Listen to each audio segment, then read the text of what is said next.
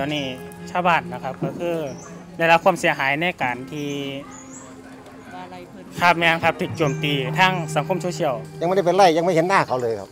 กับประกล้าศอะไรเพิ่นดอกมันก็มีมนุษยธรรมอยู่บ่ล่ะแต่ว่าอย่างไรมันเหตุมันเกิดแล้ว แม่แต่ละคนก็สิบ่ได้โหดเหี้ยมปานนั้นเนาะ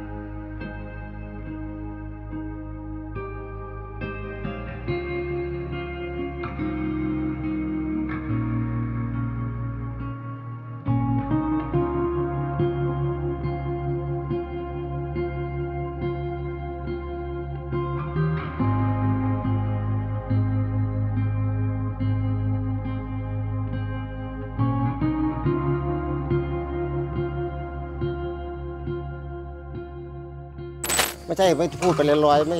มีความจริงนะครับ ต้องดูผู้นำก่อนผู้นำยังไม่พูดอะไรเลย ต้องช่วยงานเขาก่อนมันมีงานอยู่นะครับ ยังไม่ได้เป็นไล่ยังไม่เห็นหน้าเขาเลยครับบ่บ่บ่ได้ว่าอะไรบ่ได้ว่าหยังค่ะเนี่ย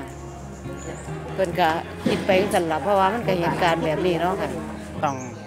ฟังความหลาย ๆด้านนะครับบ่แม่นว่าฟังทางความทางแม่เพิ่นแล้วก็บ่ต้องก็ต้องมาฟังความทางไทบ้านนํบ่แม่นว่าฟังความฝ่ายเดียวแล้วมาตีเมารวม